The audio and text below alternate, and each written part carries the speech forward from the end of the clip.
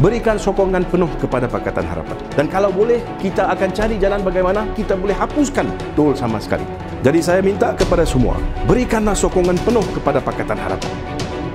Bila Pakatan Harapan berjaya mengambil alih Putrajaya dalam pilihan raya yang akan datang, rakyat akan senang kerana tak perlu lagi bayar GST, kadar inflasi akan menurun dan harga barang-barang akan